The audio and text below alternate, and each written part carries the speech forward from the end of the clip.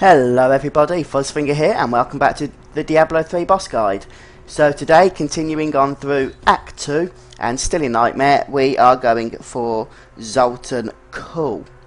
This guy was pretending to be our ally, but I think it was fairly obvious all along that he was a knob in disguise and that we would end up fighting him and we are about to do just that.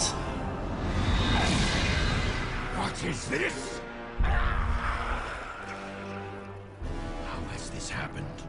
The souls of the dead lords of hell have been absorbed into the stone. Abandon your quest, Nephilim. Your allies seek only to control you with the power I offer. You and I could rule over all creation. You are mad, Kulle. Give me the stone. Okay, so at the start of the fight, you're going to be thrust into battle with these two giant Eternal Guardians and you may have actually fought them before as rare mobs. Uh, they're pretty much the same here. They hit like a truck and they have a fair bit of health. Uh, but other than that, they should be easy game. Although you probably will want to use some uh, armor increasing abilities that you may have or defensive cooldowns or anything that reduces damage like that, etc. etc. Uh, once one one is down, then the second one should be fairly easy. So try and focus them down one at a time. Uh, once both are dead, then you will want to kill the boss himself, or at least start working on killing him. Zoltun himself is basically, from what I can tell, a wizard.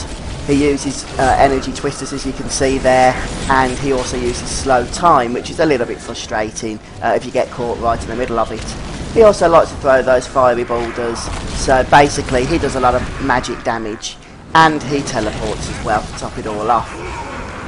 So consider this fight to be your first foray into what it might be like PvPing a wizard, uh, although this is, I'm guessing, a lot easier. But as you can see, it's basically magic spells being thrust all over the place, uh, with the odd crowd control as well. So as I mentioned, I am doing this on Nightmare, which means the battle's going to go on a little bit longer than it will if you're doing it in normal. But there's no new tactics or anything, regardless of your difficulty. You will actually take less damage on this fight uh, if you're in close range to the boss. And you'll also want to keep moving as much as possible to avoid his spells.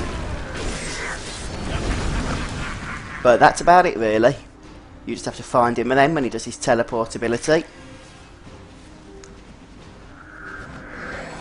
Which, as you can see, is a little bit annoying. But that's about it, that's all I can really say.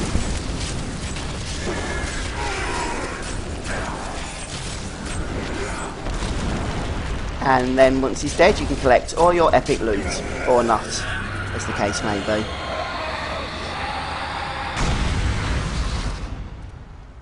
But that's it for this fight anyway, so I hope this uh, video has helped you if you've been struggling with this boss. And thank you very much for joining me. I've been Fuzzfinger, and I'll see you next time. Five lords of hell now reside within this stone. This was your doing, Adria.